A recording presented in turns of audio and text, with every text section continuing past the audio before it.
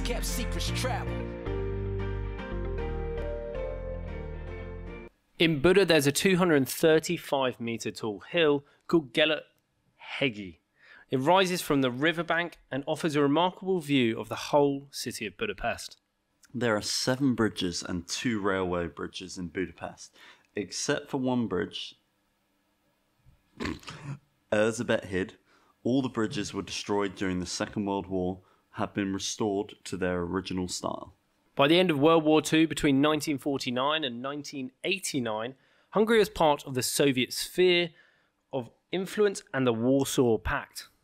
Anti communist and anti Soviet rebellion occurred in 1956. The revolt was brutally suppressed, and the then Prime Minister Imre Nagy was sentenced to death.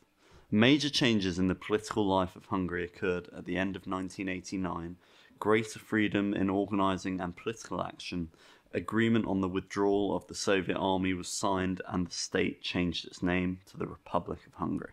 Communists lost the power, and Hungary became a member of the NATO and the European Union.